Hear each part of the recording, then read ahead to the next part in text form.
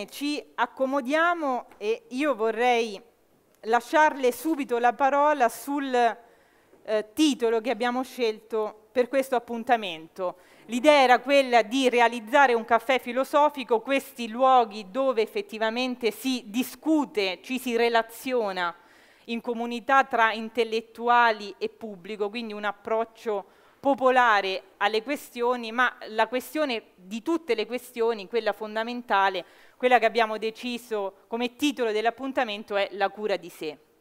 Come curarsi di sé, come prendersi cura di sé. Il Rimini Wellness prova a spiegarlo attraverso eh, i fenomeni che riguardano il corpo, il fisico, ma ci si prende cura di sé anche in un altro modo, ci si prende cura anche delle nostre relazioni. Come e dove si può fare questa terapia dell'anima oggi in questa società contemporanea attraversata dalla frenesia piuttosto che dalle pause come quella rappresentata dal caffè.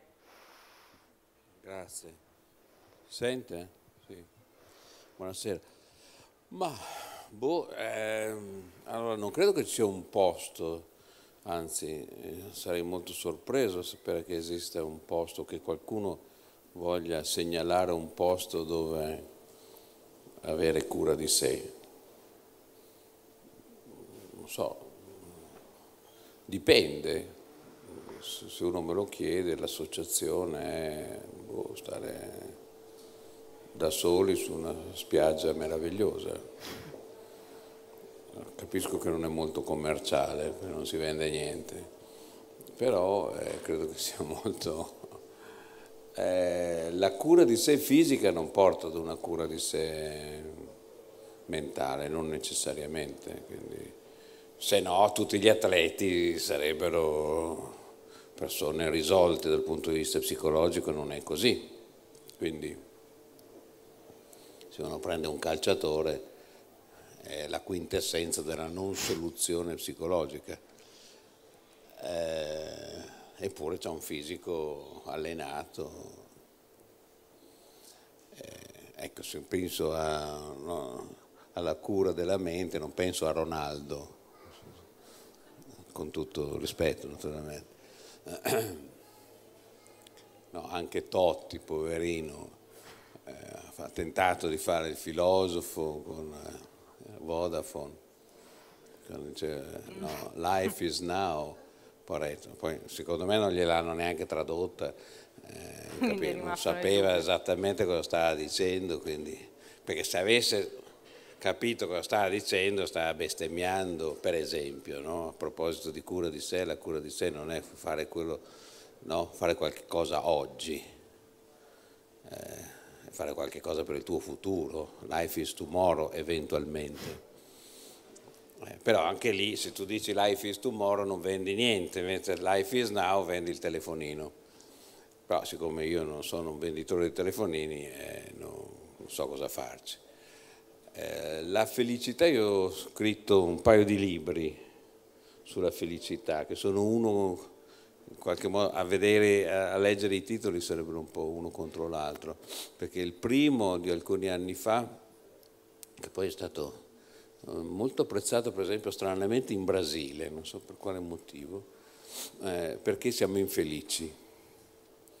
Eh, perché in realtà io penso che noi siamo un popolo molto infelice, eh, o meglio, un popolo che non sa cercare la felicità.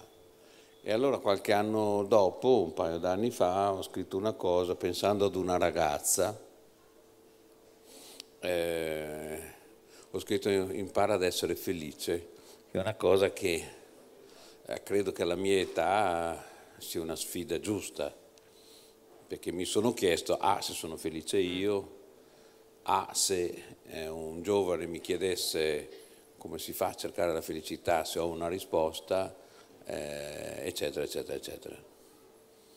Eh, devo rispondere a queste domande?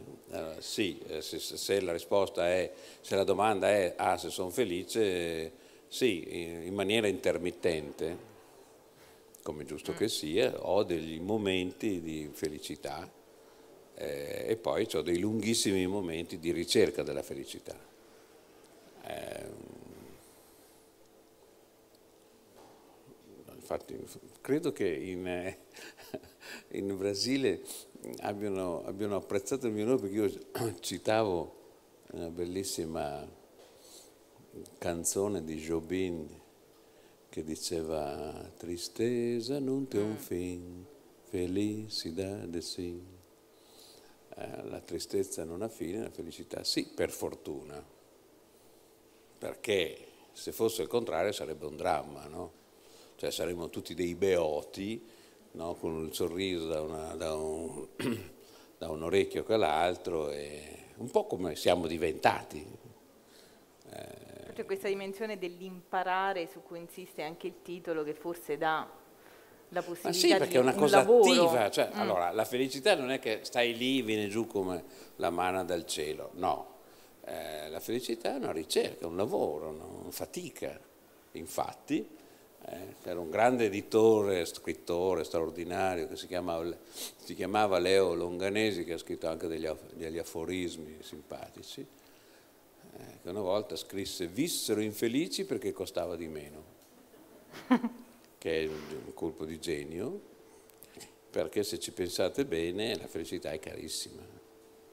Pensa, eh, no? Eh, cosa costa l'infelicità? Niente. No, ti metti sdraiato lì con la birrazza, la canotta, no? e poi dici che è tutto colpa della Merkel, eh, che qua siamo fottuti. E cosa costa? Niente, una banalità gratuita. No? Pensa a dire, no?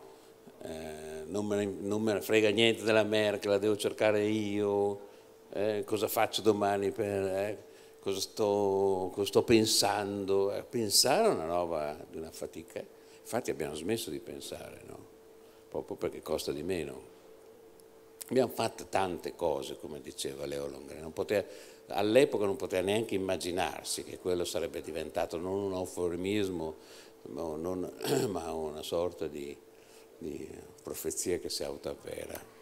Purtroppo secondo me è così. Ripete spesso questa, questa frase legata alla crisi, cioè la crisi magari potrebbe anche farci bene noi quest'anno con Pop Sofia stiamo riflettendo su questo tema, l'allegria del naufragio, cioè all'interno di questa catastrofe economica e quindi di questa mancanza di mezzi, di mezzi ipotetici per raggiungere la felicità, forse ci sono delle speranze in più, delle possibilità in più?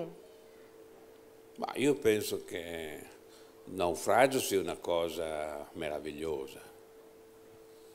Cioè, intanto cioè come la fuga dei cervelli, no? eh, se c'è la fuga dei cervelli vuol dire che ci sono dei cervelli, è una buonissima notizia. Se hai fatto naufragio vuol dire che sei stato navigante. Mm. Certo che se stai chiuso in cantina non naufraghi, no? Certo. Eh, quindi viva e naufraghi. Sono persone straordinarie. No, non sto scherzando.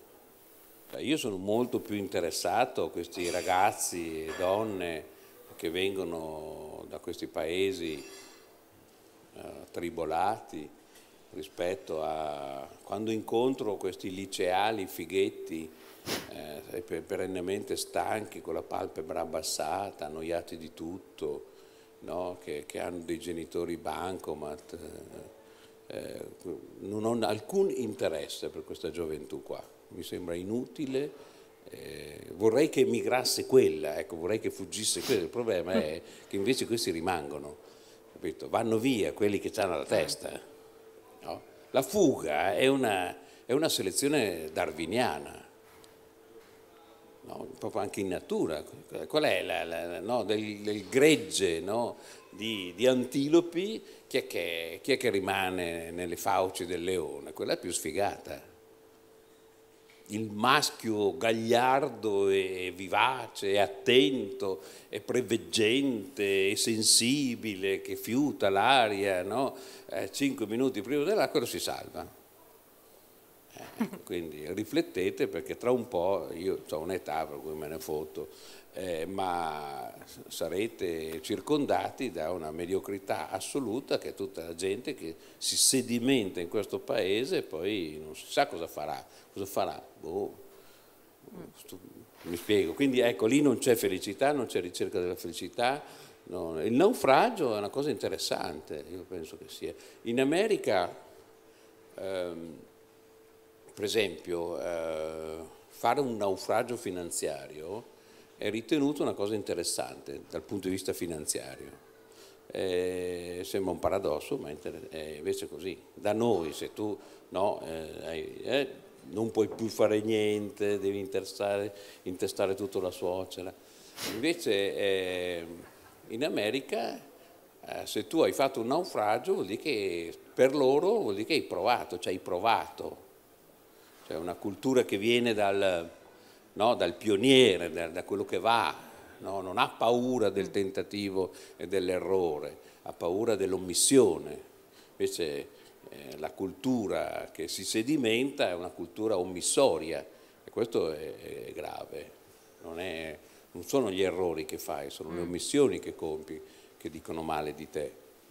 È un po' no, quando diventi esopo, la, la, la volpe e l'uva, no? quando comincia a dire che tutto sommato non era, lupa, non era l'uva che cercavi, anzi quasi quasi divento astemio, no? e cominci a, gli inglesi dicono skidding, no? a scivolare verso il basso, a, a non, eh, non, è vita, non è vita. Io penso che, ecco, quando si parla di wellness, no? Eh, io non penso ad un, scusate, eh, non penso a un tapirulan, mi spiace per Tecnogym, sono bravi ragazzi, però non mi pare il maestro di wellness è un provocatore, uno, uno che ti smeriglia il cervello, uno, eh, non so, è uno, è uno, che ti incita a disubbedire, quello è wellness. Mi spiego? C'è una cosa, vedete qua che sono anche dei musicisti, siamo anche su un palco di musicisti. Io mi sono...